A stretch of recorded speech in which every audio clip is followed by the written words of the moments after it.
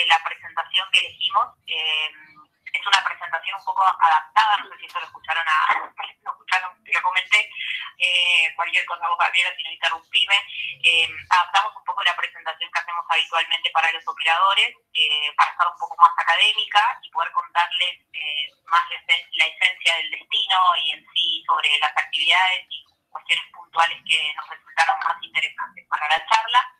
Y bueno, y vamos a hablar también un poquito sobre los algunos servicios nuestros, cómo los, cómo los encaramos, más que nada, que es lo que, nos interesa transmitir.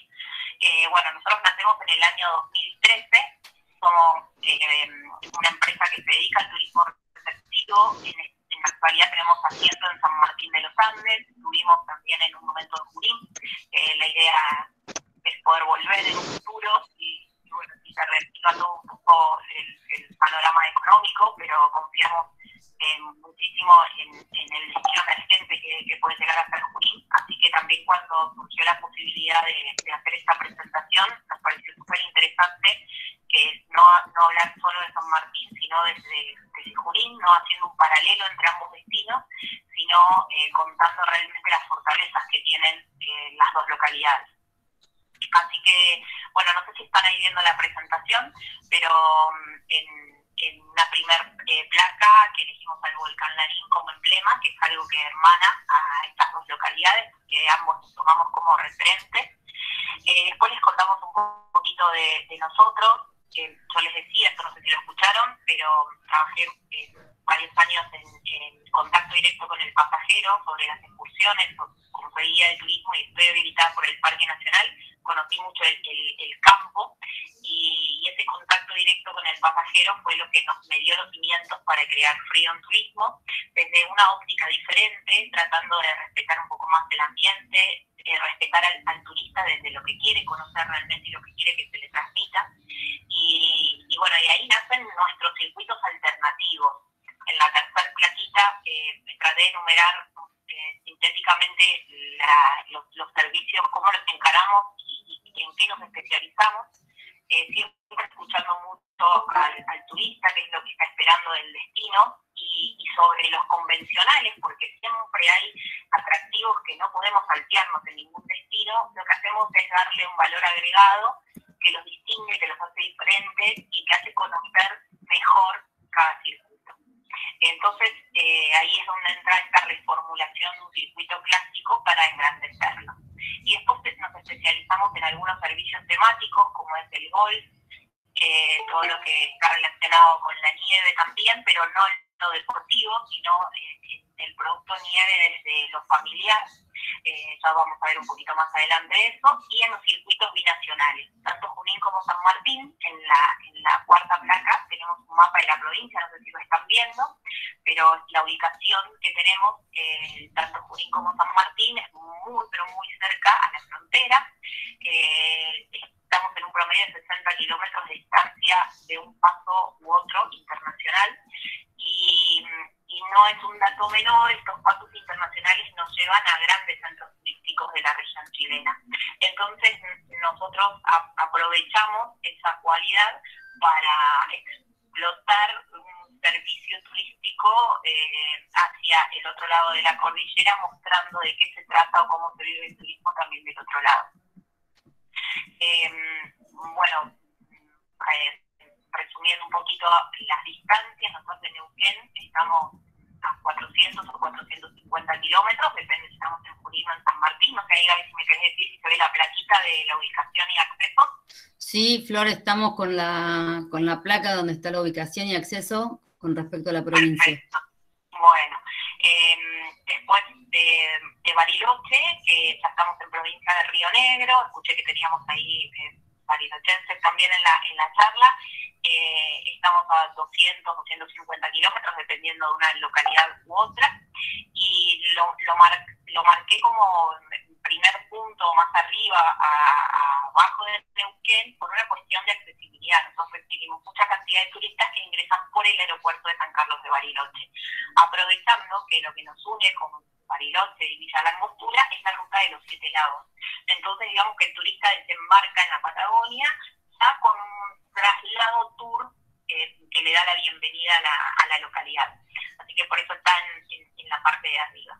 En tiempos aproximadamente son tres horas, como las condiciones climáticas, en esta época se extienden un poquito más los, los, los tiempos, de acuerdo a, a, cómo está el camino.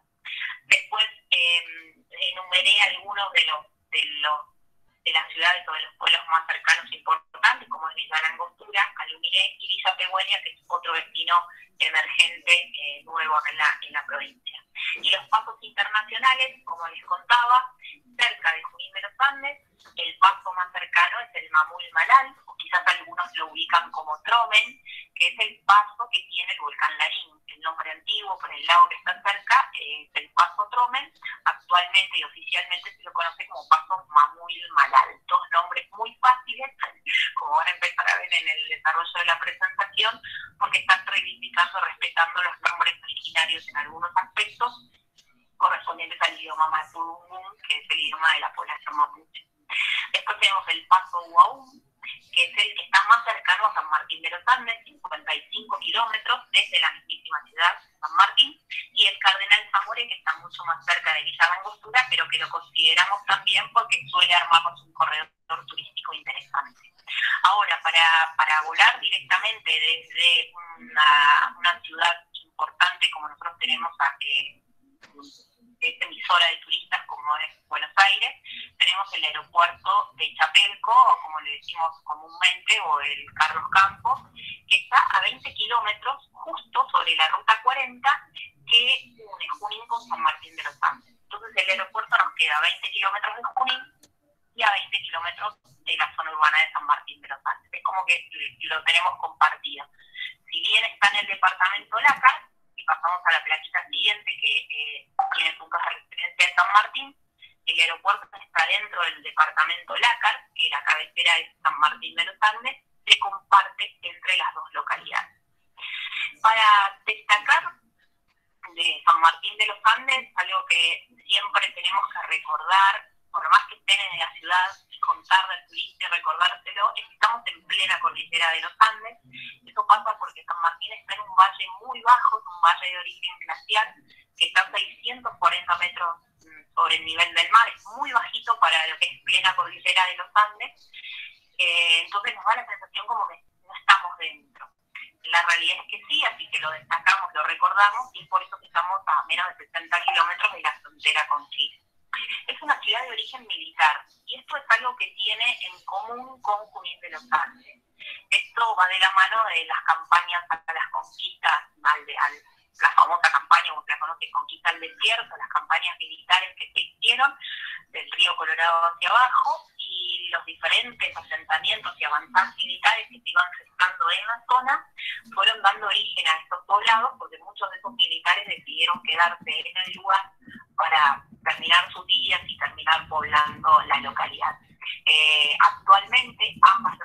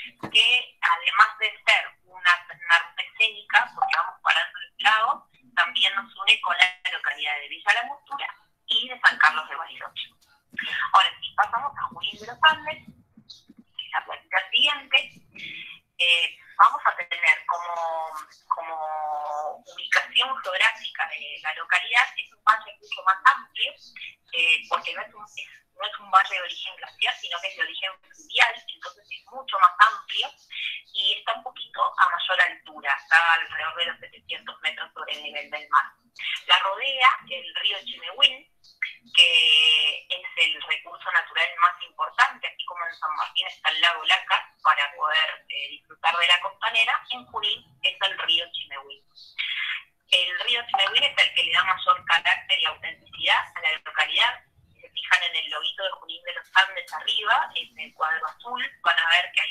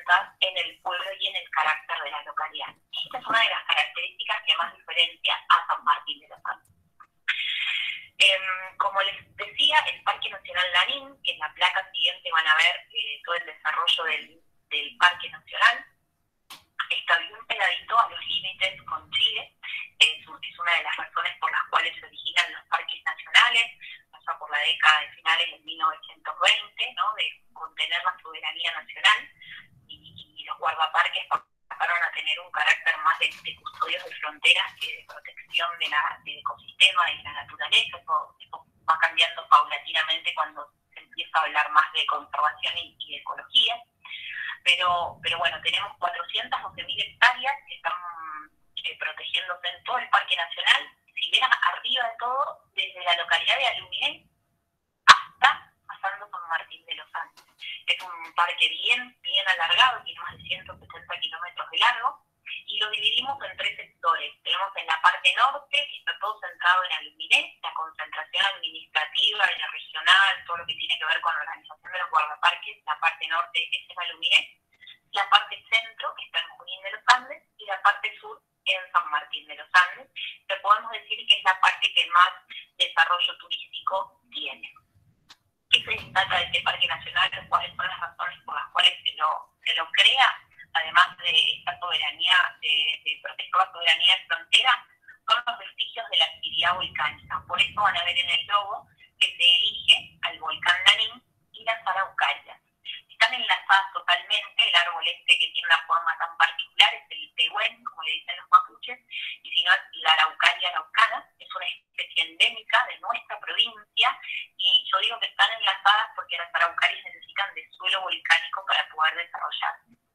En el único parque nacional, porque tenemos reservas provinciales que se protege la araucaria, es en el Parque Nacional Lanín. Por eso las tiene como emblema de su escudo. Y por supuesto el cóndor andino, anda siempre revoloteando por estos paisajes y es más fácil de ver de lo que nosotros creemos. Hay que tener entrenado un poquito la, vista. Así que proteger eh, toda la historia de la actividad volcánica del lugar, el bosque andino patagónico, que desde el Parque Nacional Lanín hasta Tierra del, del Fuego, perdón, sin detenerse, tiene una correlación pegada a la cordillera de los Andes y nosotros acá en esta, en esta latitud tenemos una conservación particular de acuerdo a las especies que se desarrollan en el área. Y por último, y esto es mucho más reciente, el comanejo que está relacionado con las comunidades locales. El Departamento de Uso Público del Parque Nacional tiene un, un rol importante en cuanto a cómo involucramos a las originarias que viven dentro del Parque Nacional Lanín para que ellos puedan seguir desarrollando su vida dentro del área protegida sin intervenir demasiado el medio y sin tener que desplazarse del lugar. Así que el comanejo es una de las eh, de, los lemas principales de esta, de área protegida. Nosotros como prestador, para poder operar dentro del Parque Nacional, tenemos que estar habilitados, autorizados por el parque con determinada cánones y demás, que se, renuevan año tras año. Y bueno, nosotros somos un prestador habilitado. Este es un punto importante porque muchas veces nos pasa que recibimos turistas acá en la zona, donde por ahí vienen en contingentes y se, quieren manejar con sus propios vehículos dentro del área y en realidad no se puede. Es una habilitación, un permiso que involucra seguros y diferentes cuestiones que eh, autorizan a la circulación en el área y el traslado de turistas con guías habilitados dentro del parque para poder conocer los diferentes atractivos naturales. Entonces, me, me pareció importante hacer hincapié en esto. Como nosotros somos vecinos del Parque Nacional Nahuel Huapi, cuando nos vamos por Ruta Siete Lagos, enseguida, en los primeros kilómetros, entramos en jurisdicción del Nahuel Huapi.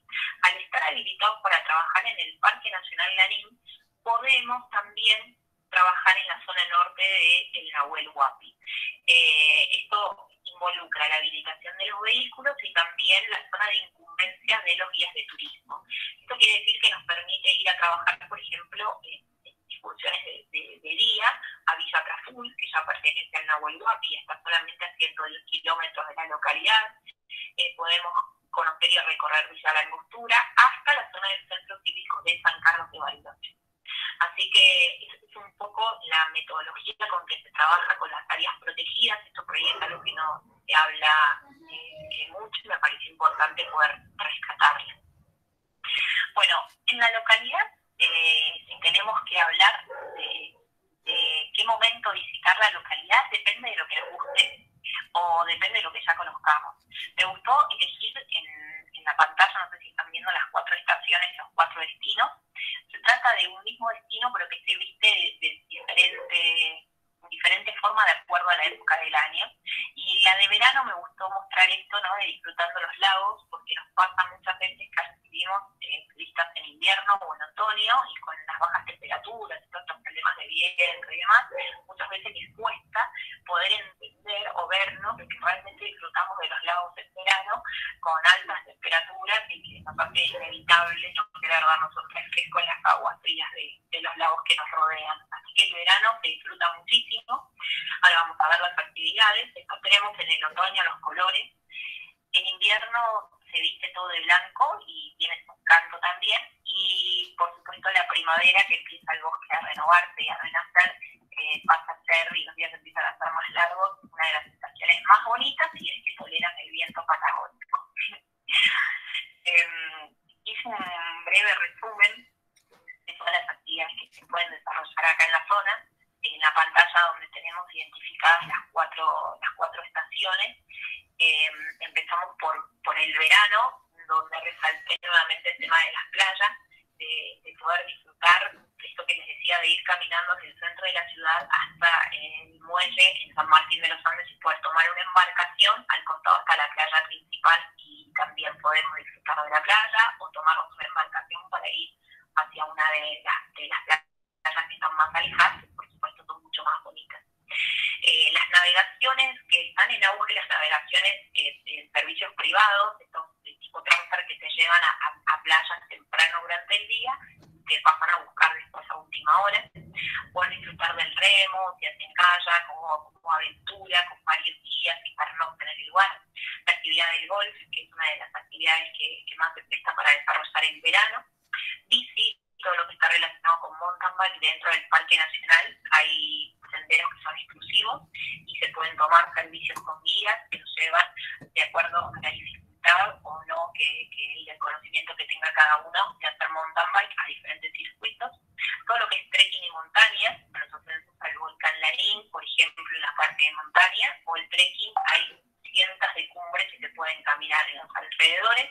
Nosotros sí siempre recomendamos que si no tienen mucha experiencia en caminar en montaña, utilicen el asesoramiento y el acompañamiento de los guías de trekking o guías de montaña, depende de la cumbre que elijan hacer. Nos parece algo, algo importante porque no es lo mismo caminar muchos kilómetros en la ciudad que adentrarse en el bosque y poder orientarse más allá de que los senderos puedan o no estar eh, señalizados. Y el excursionismo en general.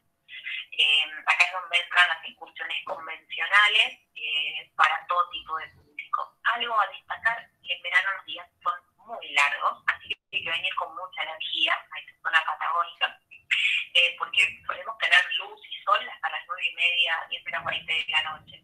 Eso nos permite poder combinar varias actividades en el día.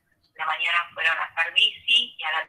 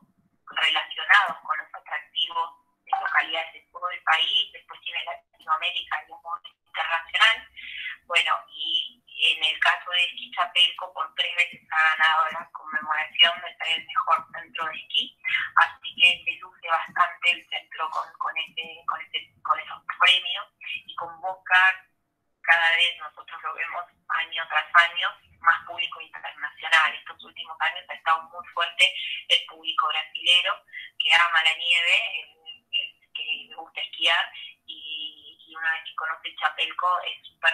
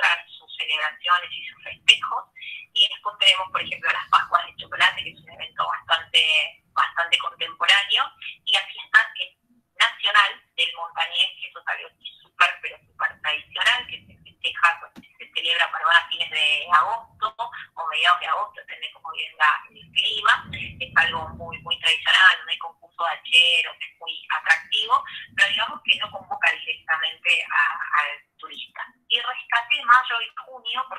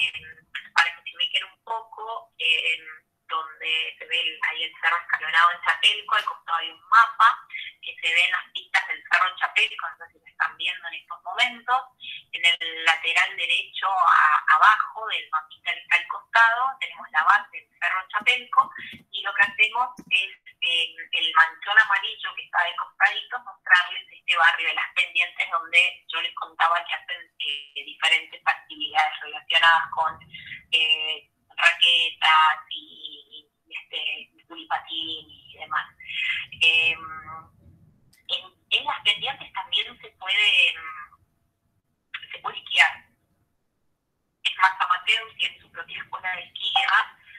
Eh, entonces, la característica, por ahí lo que más se resalta de las pendientes es que uno alquila una propiedad X, generalmente son cabañas, y para salir de sus casas o de la cabaña de alquiler, hay que calzarse los esquíes en determinada ubicación y salir esquiando directamente hacia, hacia la pista o hacia la recepción para tomarse el transfer para ir al, al Cerro Chapelco que está al lado, pero que hay que salir del barrio. Entonces ahí como venimos, eh, a ver si me querés contar, porque no veo nada. No, estábamos bien, ahora estamos viendo la diapo de, de Chapelco, con el cartel de Chapelco y don, todo lo que nos contabas de pendientes, que es la parte del sector amarillo. Buenísimo. Entonces ahí si ven la, en la pantalla siguiente creo que tienen las fotitos de la parte recreacional en la nieve, con la moto de nieve, las raquetas. Sí, señora. Muy bien, ahí está, un poquito para que vean las cabalgatas que acá hay imágenes repartidas un poco de lo que está en el Lago Hermoso, en el Parque de Nieve, y, y en las pendientes está repartida. La moto de nieve es en, el Lago Hermoso, por ejemplo, raquetas en, en ambos lugares, el patín también, y las cabalgatas en el Lago Hermoso también. Eh, son dos lugares eh, recomendables para, el público familiar. Y algo que me gustó, eh, esa pantalla siguiente, que lo leí en, eh, en lo que me mandaste vos, y me pareció interesante nombrarlo, eh, hablaba del clima. Nosotros entre San Martín y Junín estamos a 40 kilómetros de distancia aproximadamente, de donde pasamos. Y saben que tenemos una franja climática en el medio que nos divide, a nosotros nos une la Ruta Nacional 40, y en el medio donde está el aeropuerto, ahí decimos que tenemos una franja climática, de hecho la foto que están viendo está sacada desde la salida del aeropuerto hacia el lado de San Martín de los Andes, donde yo he visto los mejores arcoíris de mi vida, porque generalmente en San Martín, que es donde recibimos la mayor cantidad de vientos del oeste, los vientos que provienen del Pacífico, tenemos mayor humedad, mayor mal clima, precipitación, y demás, entonces eh, se generan mayores tormentas. Y el lado de Junín es mucho más soleado, nosotros decimos que nos vamos a Junín y nos vamos a tomar sol un poco en el invierno y en el otoño, así que me, me, parece importante destacar estos, estos aspectos. Eh, si bien en San Martín los veranos son calurosos y cada vez más estos últimos años, al estar tan cerca del bosque, todos los lagos y las playas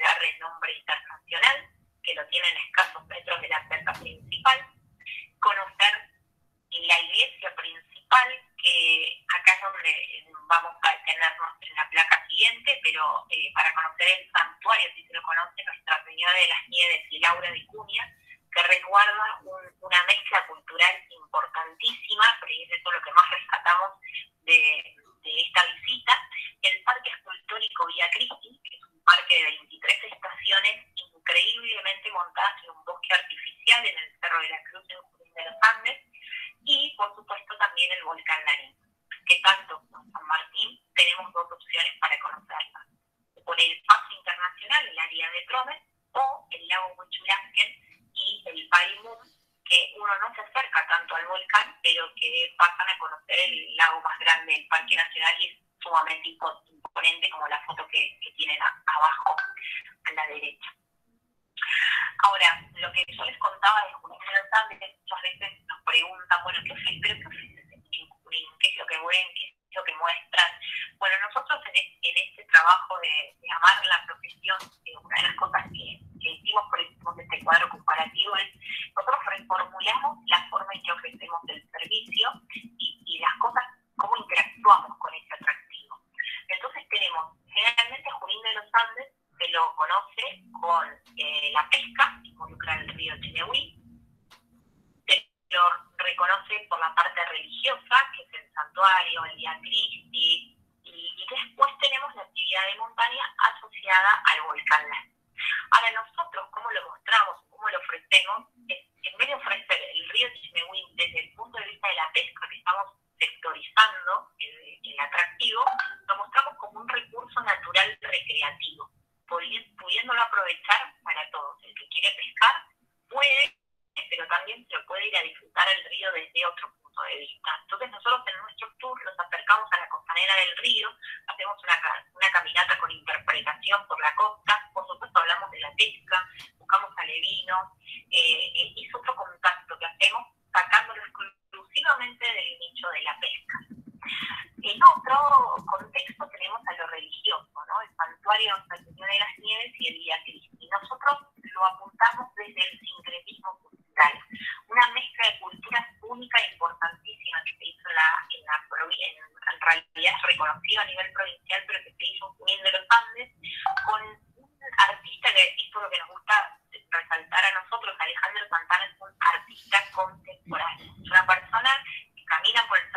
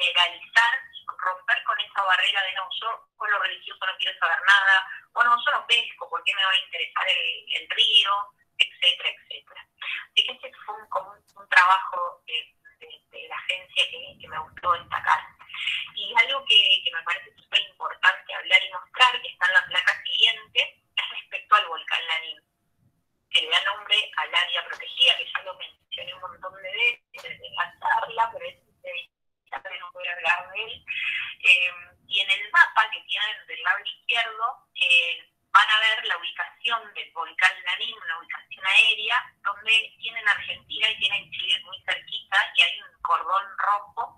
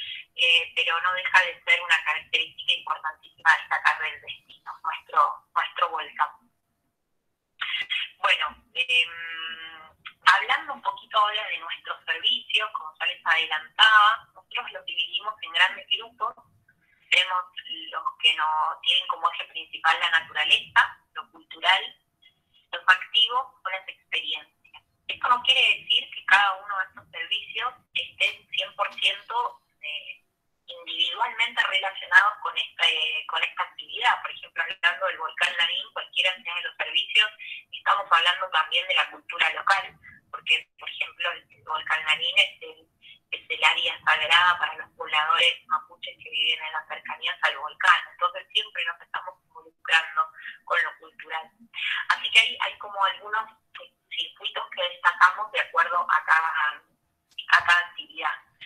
Eh, después, eh, otra cosa que, que, que, me gusta destacar es dentro de lo cultural, nosotros acá en San Martín de los Andes tenemos la ruta de Pablo Neruda. Pablo Neruda cuando escapa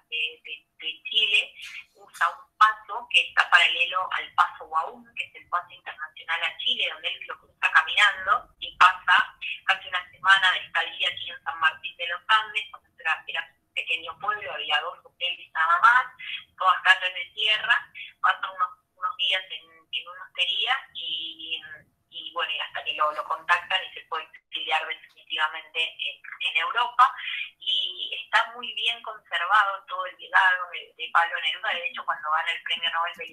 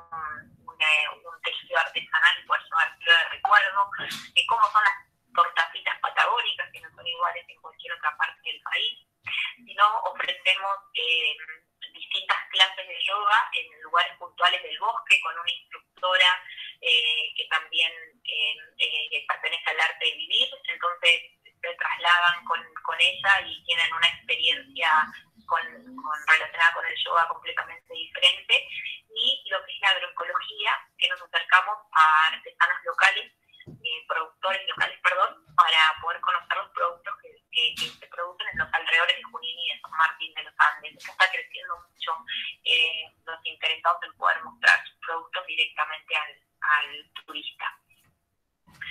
Eh, y bueno, no, nos decidimos eh, por, por, por, mostrar simplemente eh, de toda la, la, gama de servicios y de excursiones que tenemos, eh, la, los que son referentes en la zona, y elegimos las opciones con el volcán Larín, como están viendo en esta primera foto.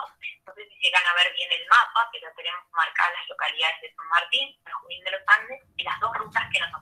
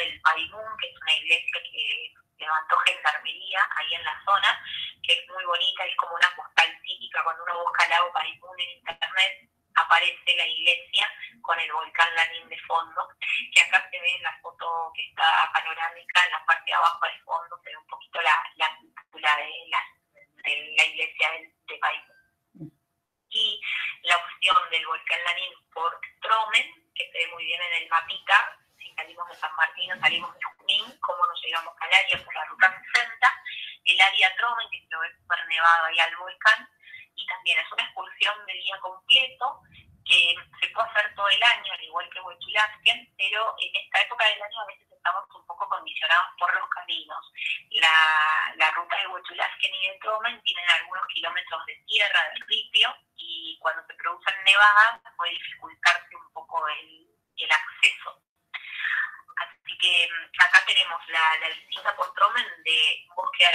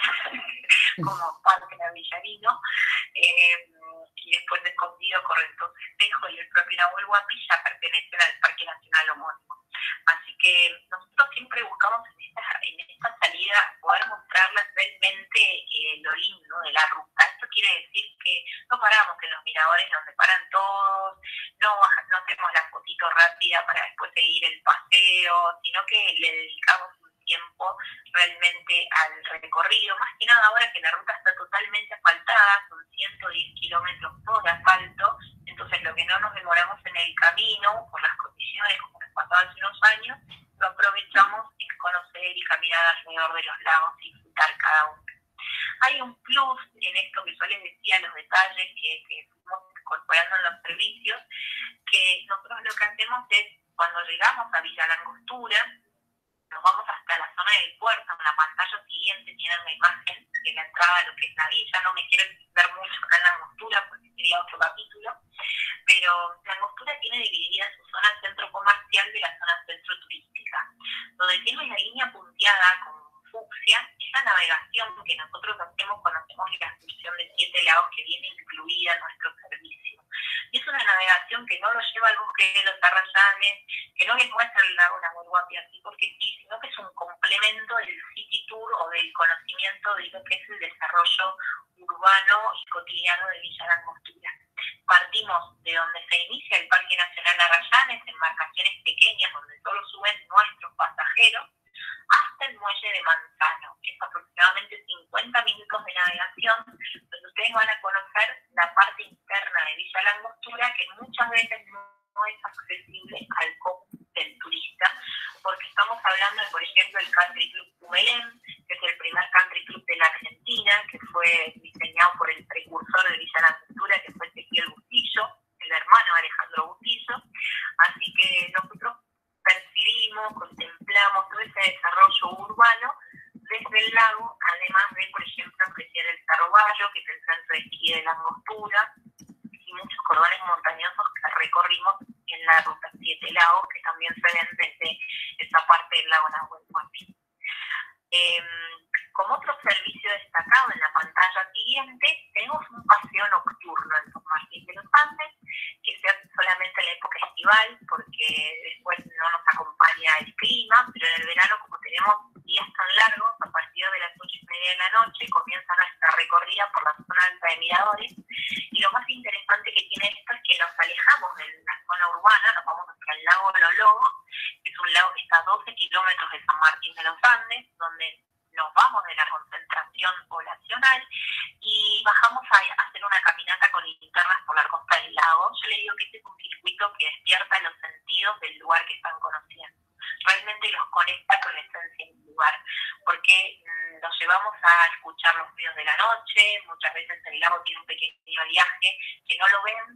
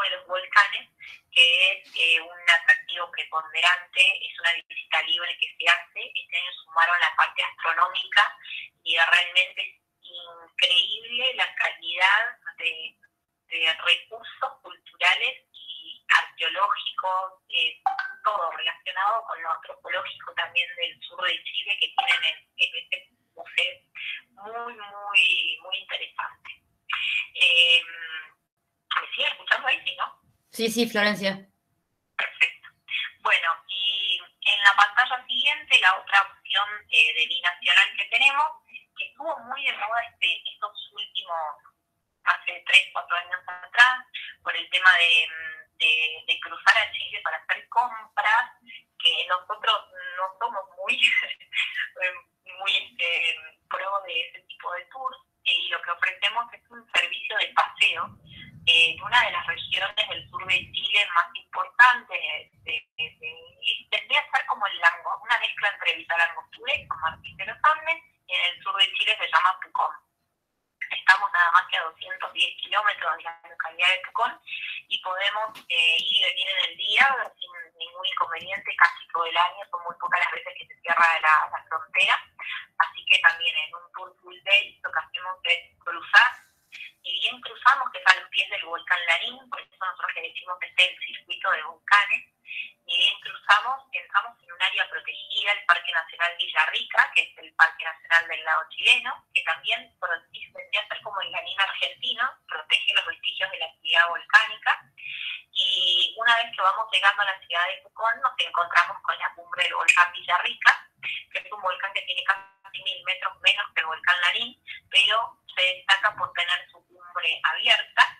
Eh, no sé si llegan a distinguir en las fotos la fumarola permanente, y de hecho su última actividad fue en marzo del 2015, que no fue, no fue catastrófica por suerte, pero demostró su, su fumarola mucho más intensa, que era un atractivo turístico, un agregado, y nosotros ofrecemos un city tour por la ciudad, donde les mostramos bien la cultura local, les recomendamos lugares de gastronomía regional y nos vamos hasta la base del volcán Villarrica, porque el volcán Villarrica, una de las cosas que ofrece es hacer el acceso al volcán y en vehículo casi hasta la mitad del cuerpo del volcán. Entonces, nosotros, excepto en el mes de febrero, que es temporada de turistas alta para el sur de Chile, excepto en el mes de febrero, que es imposible poder acercarse, nuestro tour siempre lo hacemos hasta el cuerpo del volcán.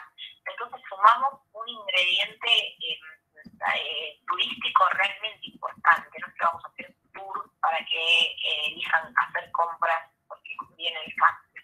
Realmente lo vemos como un, como un paseo turístico. así que es un poco hablando sobre los servicios que tenemos acá en la zona y por último me queda la especialización que tenemos nosotros en el, en el campo de, de lo que es lo deportivo, el golf. Nosotros somos facilitadores, eh, somos nexos en la organización de todos los servicios que tienen que ver con, con el golf.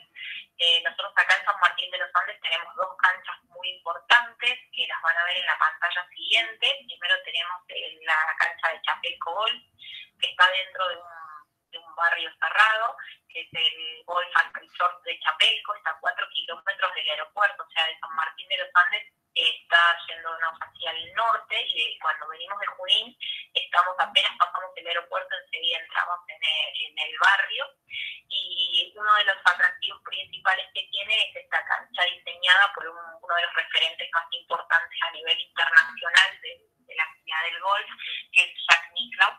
Él diseñó este, este campo de golf, es un campo que tiene 18 hoyos, o sea, es un campo amplio, de los que se lo conocen el estilo Parkland, que es un campo bastante cómodo para caminar, pero muy extenso, donde se mimetiza mucho el paisaje, si bien la mayor parte de la vegetación que rodea los, los diferentes hoyos son exóticas.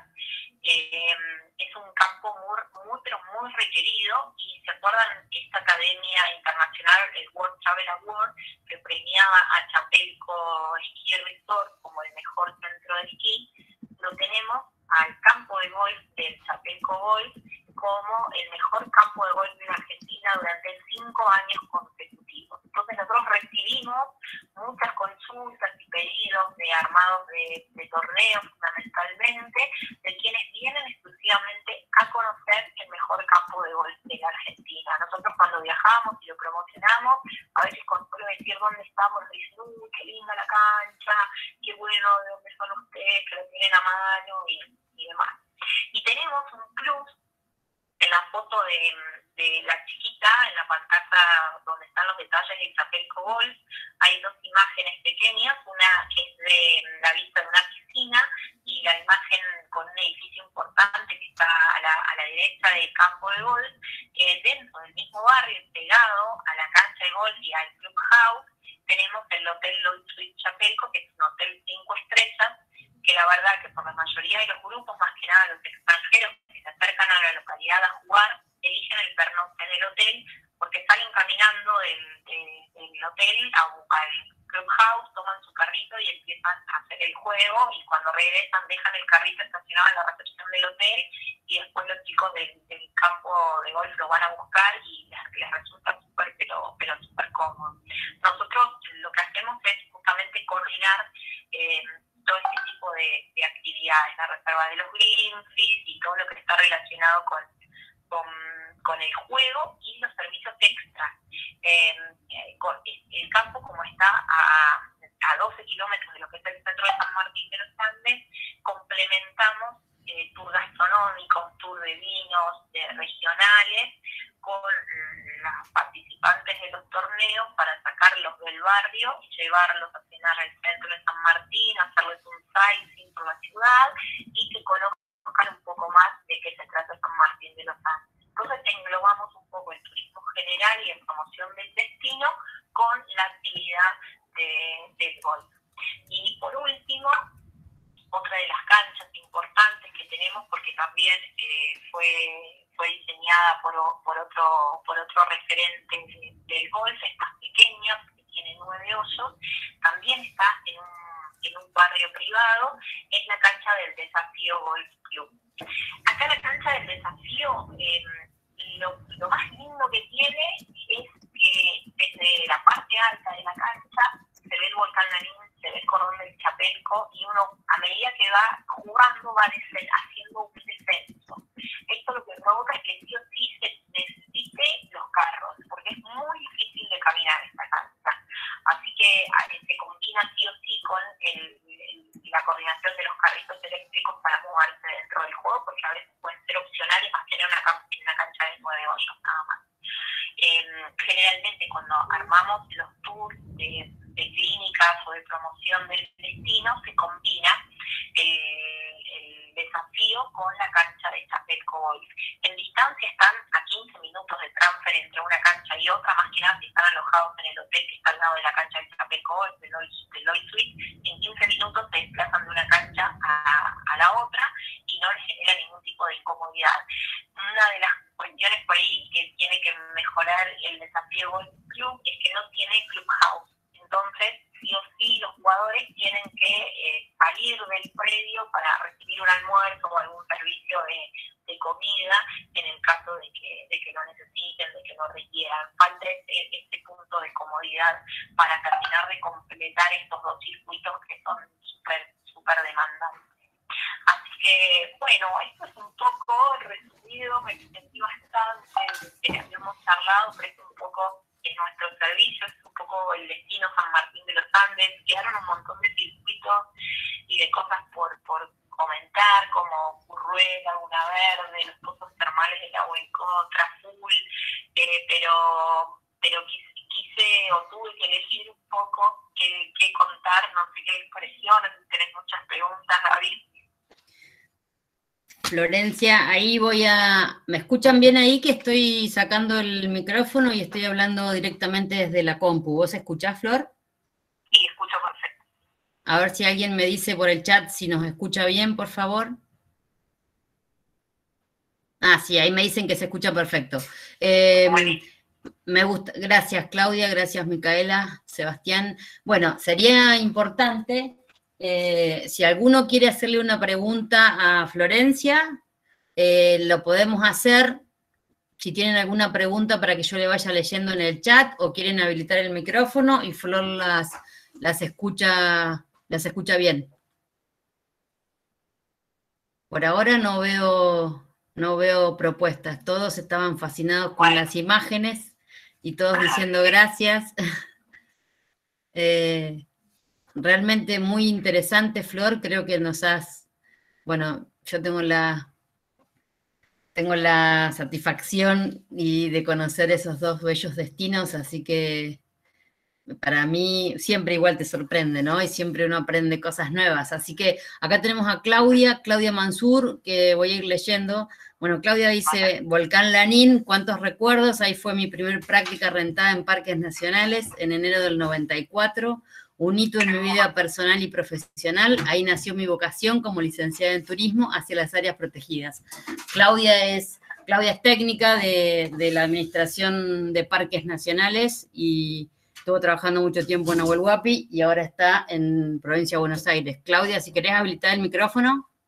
Ahí sé que estuviste contando algunas cosas sobre el plan de uso público de Larín. Hola, buenas tardes, ¿me escuchan? Perfecto. Flor, ¿la escuchás? Hola, Flor, encantada. Muchas gracias por toda la descripción detallada que hiciste y muy lindo paseo me hiciste hacer virtualmente. Es eh, una de mis áreas protegidas preferidas, donde pensaba quedarme a trabajar y terminé en la Delegación Patagonia en aquellos años y hoy en Casa Central en la Dirección Nacional de Uso Público. Así que justamente te quería comentar que estamos trabajando en la actualización del reglamento de otorgamiento de permisos, que tantas dolores de cabeza ha traído a muchos prestadores turísticos. Así que, bueno, quería contarte eso, que la idea es eh, que las habilitaciones que tengan ustedes a través de estos permisos sean más fáciles de, inscribir y de renovar en un futuro.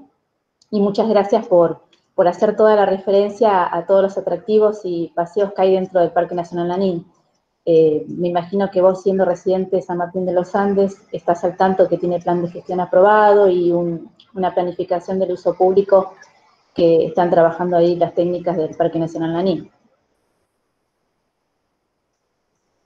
¿Florencia? No, se escuchaba entrecortado. Escuché si la parte de uso público, si estaba al tanto del trabajo de, uso público del Parque Nacional. Exactamente estamos en contacto con, con, la gente de, uso público porque de hecho lo que quienes nos regulan y, bueno, con quienes gestionamos todas las consultas y dudas. Así que sí, conocemos del, trabajo en conjunto que, llevan adelante con las comunidades, con los prestadores. Eh, así que sí, me pareció importantísimo resaltar eso de, lo que significa ser prestador del parque porque nos pasa muchas veces de, encontrarnos en, en, el día a día con, con gente trabajando que, que, no está habilitada por el parque y es muy difícil de poder controlar y de atajar todos los penales una vez que estamos en el área protegida porque es sumamente extensa y creo que ante una convocatoria como esta está bueno darlo a conocer. Muchas veces pasa que, se desconoce esto, ¿no? De, estar habilitado, ser un prestador del Parque Nacional. Tal cual, eh, se desconoce mucho acerca de, los procedimientos que hay que llevar adelante para poder habilitarse, tanto como prestador y como guía del área protegida en particular. Pero bueno, buenísima la descripción que hiciste y lo más importante es que se, refuercen esos trabajos y esos lazos entre el sector público y el privado. Para mí el trabajo eh, a través de una planificación participativa y, de los dos sectores en forma mancomunada es lo más importante y creo que todavía nos queda mucho por recorrer en ese tipo de, metodología y procedimiento. Encantada de conocerte, o de escucharte decimos muchas veces que somos los ojos del Departamento de Uso Público, más allá de, los referentes de los guardaparques que están en cada destino, muchas veces eh, los chicos como guías o nosotros mismos como prestadores eh, pasamos a, a, ser un poco los ojos de lo que pasa en el día a día en el campo.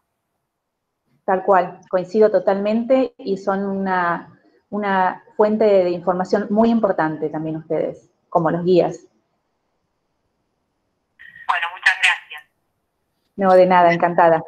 Gracias, Claudia. De nada. ¿Tenemos alguna otra, alguna otra consulta para, Florencia? Yo no estoy bien, no, no vi ninguna otra en el chat, solamente agradecimientos y diciendo, bueno, lo, lo, hermoso que es el lugar y, bueno, agradeciendo el seminario. Acá hay una pregunta de Natalia Zulik que habla, eh, nos pregunta, te pregunta, con respecto al turismo comunitario, ¿qué alternativas tienen? Bueno, con el turismo comunitario está, están eh, las, visitas a las comunidades locales, más que nada involucrándonos con, Junín de los Andes o como lugar de partida teniendo Junín de los Andes. Nos pasa em, que fue también uno, uno de los propósitos ¿no? cuando eh, diseñamos los, los circuitos que nosotros queríamos ofrecer, es que muchas veces se toma como referencia eh, conocer a la, a la, comunidad o involucrarse con la comunidad en los circuitos convencionales de, de, bueno, no sé, por ejemplo, algo que son, no hablé, un punto, un destino que no hablé, eh, Quilaquina, ¿no? Y sí, cuando vamos a Quilaquina pasamos por la comunidad, ven a la comunidad y demás, y en realidad el, el foco del paseo es, es otro, ¿no? Es, eh, bueno, llegar a Quilaquina, tomarte el cafecito en el restaurante y seguir viaje. Y nosotros ofrecemos eh, la interacción directamente con el poblador, esto que yo les contaba de, por ejemplo, la comunidad San Ignacio, o cuando vamos a Tromen, que según la época del año podemos entrar a Chiquirihuín, y ahí en el centro comunitario, en el centro de convención, el, el centro del Zoom, perdón, que le dicen ahí en las, en las comunidades, Junín de los Andes tiene un montón de comunidades satélites que dependen eh, administrativamente de Junín, pero son poblaciones que están a 30, 40, 50, hasta 60 kilómetros de Junín de los Andes y en algunas tenemos el acceso más, más fácil porque el poblador se, presta a la llegada del, turista y nosotros lo que hacemos es encontrarnos en el Zoom o a veces visitamos directamente la casa de algún poblador X donde nos recibe, nos muestra tortas fritas, nos enseña eh, sobre su vida cotidiana, se ven los animales, eh, cuál es el trabajo del campo. Eh, son circuitos y servicios que lamentablemente todavía no tienen una regada masiva, que nosotros los coordinamos y los armamos en determinadas épocas del año para grupos reducidos, porque esa es la demanda de dos, tres, cuatro personas hacemos la visita interna en la comunidad acompañada por el poblador y siempre interactuando con una actividad que el, interesado nos plantea. Hay muchas veces que están más relacionados con todo lo que tiene que ver la, la cultura manual, entonces trabajamos el, tema de, la cerámica en, en, una de las comunidades, después trabajamos el tema del tejido, que tuvimos la oportunidad de ir eh, una vez en la época de la esquila, y el, y el hilado manual como se hacía antiguamente. Después, eh, si están más interesados con lo, con lo religioso, es la comunidad San Ignacio la que predomina porque tenemos hasta un, cementerio eh, antiguo donde vamos a hacer la visita y tenemos una de las mejores vistas de, la Unión de los Ríos Cordilleranos. Entonces, eh, son circuitos y servicios que los adaptamos al pedido del turista. Eh, todavía hay mucha sensibilidad en la zona de acuerdo a, por lo menos en las comunidades que nosotros nos, nos, metemos y nos gusta visitar, que creemos que muestra lo auténtico de la, de la vida en comunidad. Em, eh, es bastante, mm, hay que estar bastante cuidadoso, hay que cuidar al poblador, a eso me, a eso me refiero. Entonces, eh, preferimos la visita de bajo impacto también, ¿no? Con, con, pocos turistas. Y lo ofrecemos con, nosotros estamos involucrados y estamos buscando la certificación de, de estas industrias que son sustentables, que estamos eh, viendo de calificar para las industrias B, que también hace poco hizo una capacitación en la universidad y estamos tratando de, de poder involucrarnos de forma sana con el, con el poblador bajo el lineamiento o cómo nos van guiando desde, desde ese sector, ¿no? que hablan desde, desde mucha experiencia. Hay, hay una gran una gran posibilidad de ampliar los servicios que, que brindamos con las comunidades, pero lo queremos hacer conscientemente. Después acá en San Martín de los Andes tenemos una artesana de, de, lana que está muy cerca de San Martín, que eh, es como lo más accesible que tenemos para quienes tienen poco tiempo, se encuentran con la oportunidad cuando están en el destino y, y bueno, hacen la visita directamente a, la artesana que los recibe en su propia casa, que está a 15 minutos de San Martín de los Andes y se puede ir caminando. Perfecto, Flor. Eh, ahora ahí, bueno, voy a hacer un resumen de dos preguntas que están relacionadas, de Florencia Valles y Marianela Soto. Hablan de cómo tenés pensado que serán los protocolos de, de sanitización o seguridad para recibir a los turistas por el tema coronavirus. Y Marianela, con respecto a la situación que estamos atravesando, ¿cómo se preparan para arrancar con la actividad turística? ¿Qué métodos van a aplicar? Eh, ¿cómo nos, preparamos? Eh, nosotros desde la Federación de Agencias de Viajes y Turismo tenemos eh, un protocolo que armamos en conjunto con empresas de, Patagonia, donde fuimos eh, interactuando diferentes experiencias de acuerdo a la vida cotidiana del turismo, cómo, cómo se va llevando día a día, y pudimos formalizar un protocolo muy interesante que, está en la página de FAEVIC, donde fuimos muy específicos desde la atención en las oficinas hasta el servicio arriba de los vehículos y mm, básicamente habla del distanciamiento social el menor capacidad en, los traslados, eh, sea para turismo o sea para, para traslado netamente, por ejemplo, un traslado al aeropuerto, un traslado al Cerro Chapel, un traslado al parque de nieve, o sea un servicio de excursión, menor capacidad en los vehículos. Y, el, distanciamiento también del guía, que eso es una de las cosas que más nos, nos cuesta porque eh, uno suele brindar un servicio bastante familiar, eh, entonces compartimos eh, cosas, eh, algo de gastronomía dentro de los paseos que es brindado por la empresa, el mate que yo siempre dije, sin turismo no hay mate, sin mate no hay turismo, perdón, siempre lo, siempre lo digo de esta forma, y bueno, es como que tenemos que adaptar, el, guía se tiene, es el que más se tiene que adaptar en el contacto con el pasajero. Y por supuesto las medidas de precaución, ¿no? El, barbijo, la, la, sanitización del pasajero antes de subir a la camioneta y en cada uno de los lugares después de hacer las recorridas y la sanitización del vehículo, que eso es fundamental, que está encargada a los, chicos que, tienen a cargo el vehículo, ¿no? de hacer la limpieza eh, extrema de las unidades cada vez que suben y bajan los pasajeros. Bueno, Florencia, eh, muchísimas gracias por haber respondido a todas las preguntas. Por ahora no veo que hayan aparecido más. Ha sido muy clara eh, y muy elocuente con la presentación.